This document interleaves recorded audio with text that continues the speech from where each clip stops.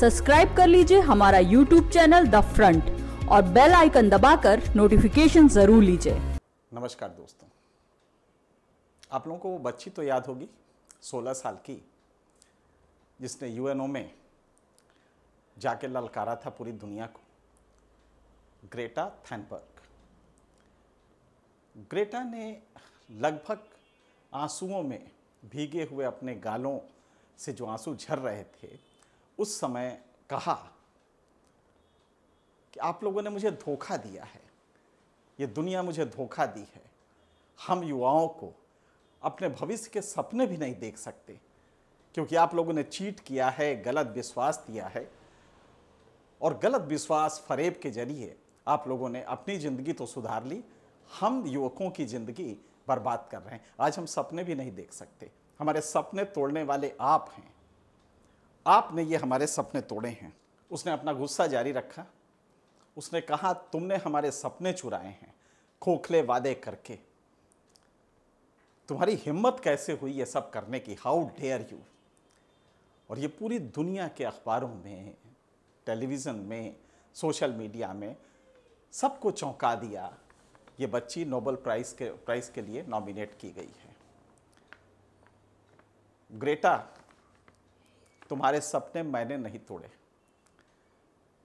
तुम्हारे सपने, तुम्हारे बाप ने तोड़े, तुम्हारे दादा ने तोड़े, तुम्हारे परदादा ने तोड़े, तुम्हारी पिछली पुश्तों ने तोड़े हैं। बेटे, इसका आरोप हमारे ऊपर न लगाओ। ये सपने तुम्हारे तुम्हारे बाप आज भी तोड़ रहे हैं। मैंने नहीं तोड़े हैं। आपको बताएँ, ये इन्वायरमेंट को लेके काफ़ी हो हल्ला हुआ। 2018 में मोदी जी को चैंपियन ऑफ़ द कॉज कहा गया और यूएनईपी ने कहा, जो इन्वायरमेंट का प्रोग्राम यूएनओ का है, उसमें कहा गया था, अच्छी बात है, हमें इन्वायरमेंट के प्रति सजग होना चाहिए। पर आपको हकीकत मालूम है, आज भी भारत का प्रति व्यक्ति कार्बन एमिशन ग्लोबल एवरेज के सिर्फ़ 40 परसेंट है। क्या आपको मालूम है कि ग्रेटा जिस जहाज़ से आई थी और जिसमें बैटरी यूज़ हुआ था, सेल यूज़ हुए थे, ये बताने के लिए कि साहब देखिए कितना पर्यावरण के प्रति चिंतित है सब लोग, कि वो अपने यहाँ स्वीडन से समुद्र पार करके, अटलांटिक पार करके जब वो अमेरिका पहुँची थी तो उसने यही बताया कि चीट आप लोगों ने किया है। और जिस वो सोलर पावर्ड जहाज़ से आई थी उसमें आपको अंदाज़ा है कि कितनी बिजली लगी होगी उसके सेल्स को इनर्जाइज करने के लिए? यह दुनिया को नहीं मालूम। हम सब लोग बड़े अफसोस में हैं कि ग्रेटा ने ये क्या कह दिया। हमें कोई हक नहीं है अपने बच्चों को उनका भविष्य खराब करने का। लेकिन क्या भारत कर रहा है ये? क्या ये गरीब मुल्क कर रहे हैं? क्या ये पाकिस्तान कर रहा है? बांग्लादेश कर रहा है? साउथ एशिया कर रहा है? जी नहीं। खुद स्वीडन का इस समय पर कैपिटा कार्बन एमिशन जिस देश से वो बच्ची आई थी, उसका 14.7 है। आप जरा सोचें, ग्रेटा को किसने धोखा दिया? और जब से औद्योगिक क्रांति हुई है, तब से लेके आज तक, जो पूरा का पूरा इन्वायरमेंट खराब हुआ है उसका श्रेय पश्चिमी दुनिया को जाता है, जिसने 98 परसेंट इस पर्यावरण को खराब किया है। तो कि दोषी कौन हुआ? आज भी दोषी कौन है? आप जरा आंकड़े देखें। भारत सिर्फ़ प्रति व्यक्ति कार्बन एमिशन 1.7 मैट्रिक टन है, जबकि स्वीडन का, जिस जहाँ से ग्रेटा आई थी, उसका 14.7 है। बांग्लादेश का 0.5 परसेंट है। 0.5 मिलियन टन है। भारत से भी एक तिहाई से कम। पाकिस्तान का 0.9 मैट्रिक टन है। कौन गलत है इसमें से? आप ताजुब करेंगे। कतर दुनिया का सबसे बड़ा कार्बन इमीटर है। सबसे ज़्यादा कार्बन गैस उसके यहाँ से निकलती है। और कैसे निकलती है? क्योंकि वो जब एनर्जी लेता है तो वो फॉसिल फ्यूल से लेता है। इसकी वजह से सबसे ज़्यादा कतर करता है और उसकी तादाद कितनी है? प्रति व्यक्ति उसके यहाँ 43.9 मिलियन टन मैट्रिक टन होता है। भारत से करीब 30 गुना ज़्यादा। क्या कतर ने कभी ये वकालत की है? अमेरिका को लीजिए आप। 16.5 मैट्रिक टन है। और अमेरिका जब पेरिस कॉन्फ्रेंस हो रहा था तो इस कॉन्फ्रेंस से ही बाहर हो गया। क्या नहीं, मैं नहीं रहूँगा इसमें। क्या किसी ने कुछ कहा? हम किन किन मुद्दों पे अचानक बिफर जाते हैं और अपनी पॉलिसीज़ बदलने लगते हैं? आप गौर करें, ऑस्ट्रेलिया 15.4 मैट्रिक टन प्रति व्यक्ति इमिशन करता है कार्बन का। कभी किसी ने कहा है, भारत के एक दशमलव सात पर सबकी नज़र है। भारत की प्रति व्यक्ति इमिशन एक दशमलव सात प्रतिशत है।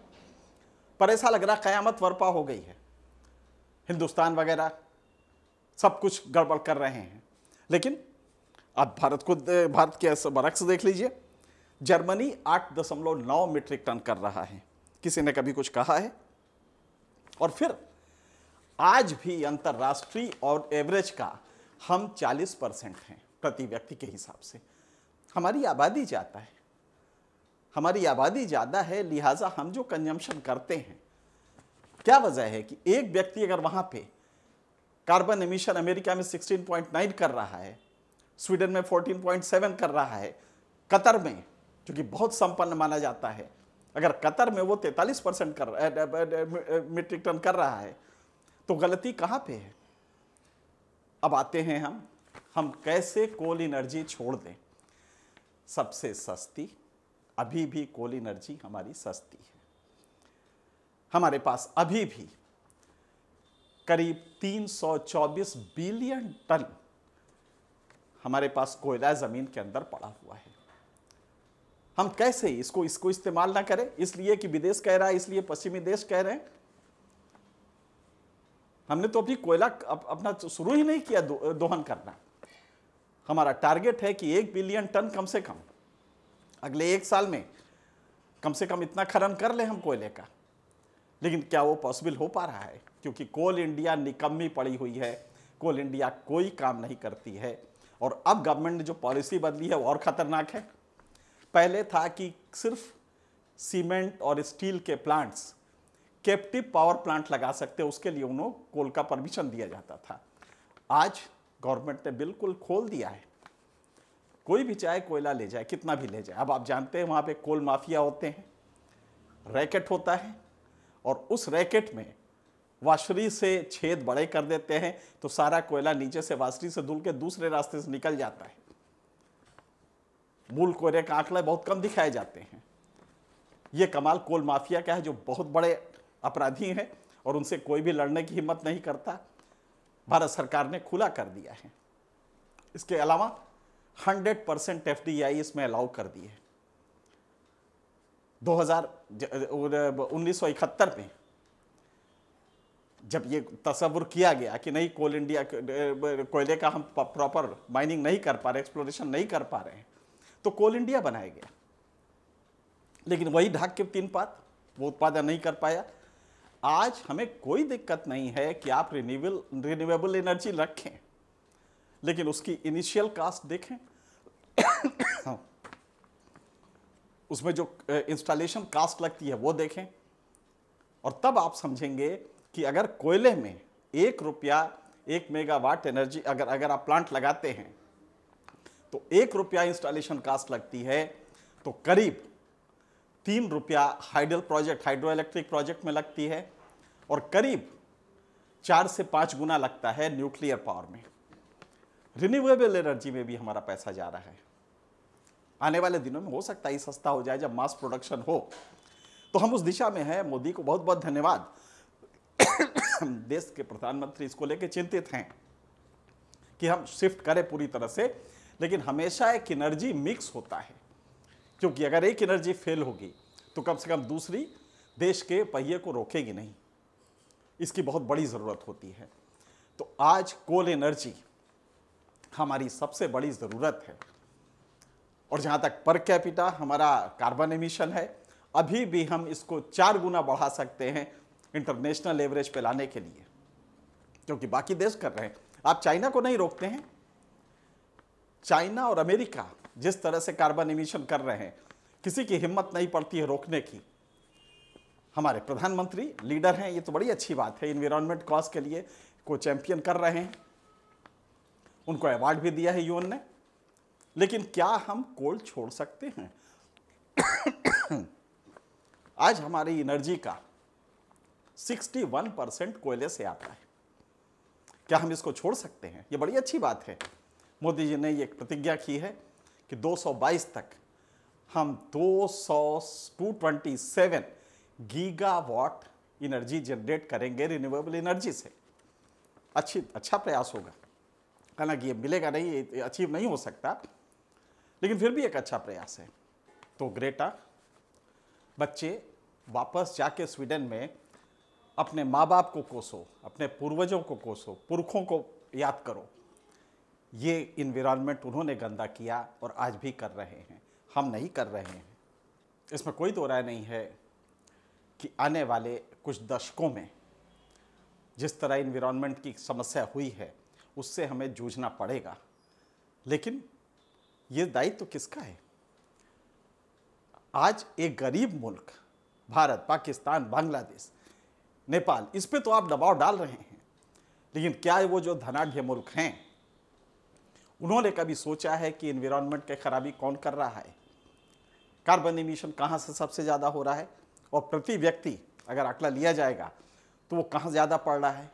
और तब आप पाएँगे कि अपराधी हम नहीं। अमेरिका है, पश्चिमी दुनिया है, स्वीडन है, जहाँ से ग्रेटा आई थी। ग्रेटा, बेटे, ये एनर्जी का जो तुमने बात किया है, ये तुम्हारे भविष्य को, तुम्हारे सपनों को मैंने नहीं बर्बाद किया।